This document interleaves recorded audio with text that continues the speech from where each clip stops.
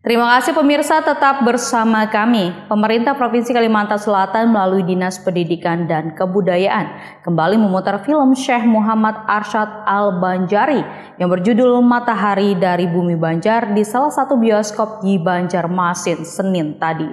Sebelumnya, film tersebut direvisi setelah adanya masukan dan saran dari berbagai kalangan dan tokoh di Banua. Senin siang, pemerintah Provinsi Kalimantan Selatan melalui Dinas Pendidikan dan Kebudayaan kembali memutar film Syekh Muhammad Arsyad Al-Banjari yang berjudul Matahari dari Bumi Banjar di salah satu bioskop di Banjarmasin. Sebelumnya, film ulama Banjar ini sempat ditayangkan. Namun setelah adanya masukan dan saran dari berbagai kalangan dan tokoh di Banua untuk dilakukan revisi, film ini akhirnya kembali ditayangkan ulang Pemutaran film ini disaksikan oleh ratusan ASN di lingkup Pemprov Kalsel dan selanjutnya bisa disaksikan masyarakat umum di seluruh Indonesia.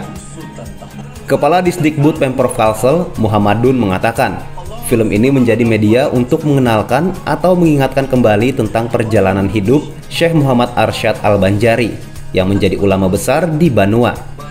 Ya, isinya adalah untuk uh, memberitahukan kepada masyarakat luas, baik itu masyarakat Kalimantan Selatan maupun masyarakat di dunia ini, karena banyak murid-murid beliau yang tersebar di beberapa negara. Apa yang pernah dilakukan beliau, baik beliau telah apa artinya uh, membuat buku Sabil al-Mutadin, beliau telah menerapkan hukum Islam uh, berupa mukti dan itu ada di MK bukti-buktinya serta ajaran-ajaran beliau tentang uh, hukum Islam. Syekh Muhammad Arsyad Al-Banjari merupakan tokoh ulama Banua yang datang dari Timur Tengah ke Indonesia. Sebelum ke Tanah Banjar, ia singgah dulu bersama para sahabatnya di Tanah Betawi atau Jakarta. Sejak tinggal di Jakarta, Syekh Muhammad Arsyad Al-Banjari menunjukkan keilmuannya.